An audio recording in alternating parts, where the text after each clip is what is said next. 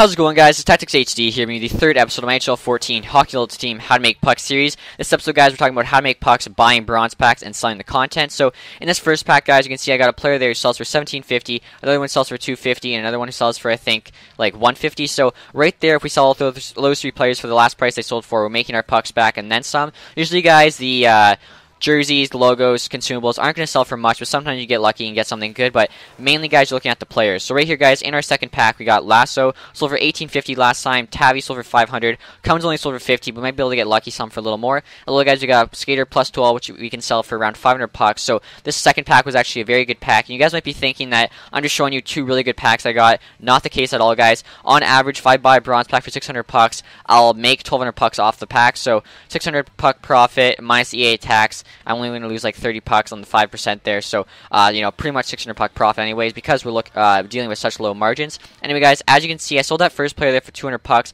I also sold the last two for 1500. Might even been able to get more for him, but I decided to just settle for that. So we're looking at 1700 pucks right now, guys. I also sold the Tabby there for 500. We're looking at 2200 pucks right now. I also sold the Graham for 300, so 2500. Skater plus 12 for 500 pucks. So that's 3k pucks, guys. And I also still have uh, this guy right here, uh. If I can sell him, I think you for like 750. That's way less than last sold for. As well, guys, this is coming for 250. We're looking at 4K pucks. My CA tax, we're looking at 3.8K. Minus the cost of the packs, we're looking at 2.6K. So 2.6K pure profit, and that was like literally 12 hours. I bought the packs before going to bed, woke up, all those guys were sold. So really good, uh, really good method, guys. Obviously, you're looking with uh, you know smaller amount of pucks, but really effective and uh, you know works really well. So anyway, guys, I hope you enjoyed the video. Make sure to give our NHL 14 videos. Also, guys, if you did enjoy the video, please leave a like. And besides that, thanks for watching. Stay tuned for more. Have a nice day, guys.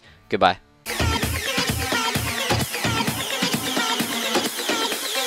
It's the kind of beat to go.